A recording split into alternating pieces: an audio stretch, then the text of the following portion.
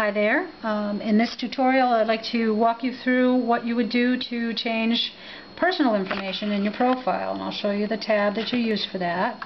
It's here, My Profile, and I'm going to click on that and it brings up a page with all of your information that the, the Master Gardeners keep on you and I'll back out a little bit. It may be a little blurry when I back out but at least it gives you the idea what you can see.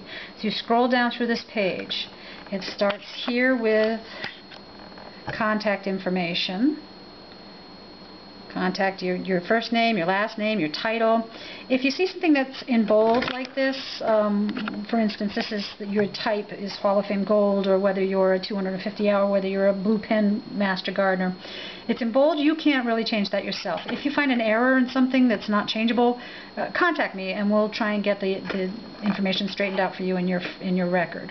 But anything that's open and blank and available to you is something you can change yourself. You can change your email address. If you look right here, this is the current email address we have listed for our fictional uh, Deadhead Phloxolot.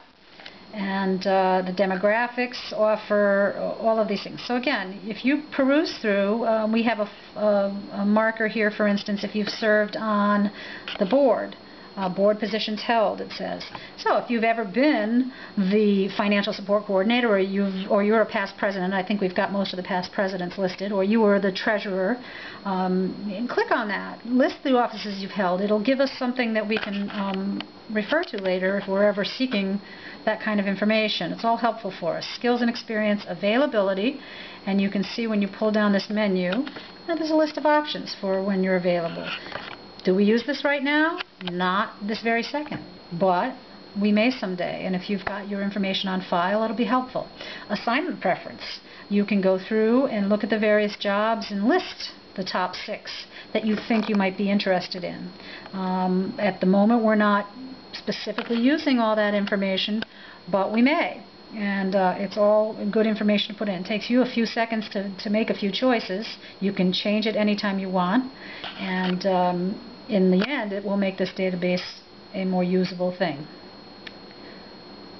So that's how you work on your profile information. It's very simple. The only thing I want to remind you, see all these save buttons?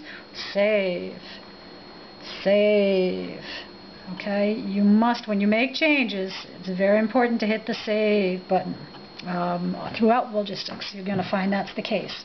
So, important point, uh, to let you know. Also on any of these pages is the exit button. So if all you want to do today is go in and change your profile, then you go ahead and hit exit and you're done. Once you've saved the changes, hit exit and you can go on your merry way.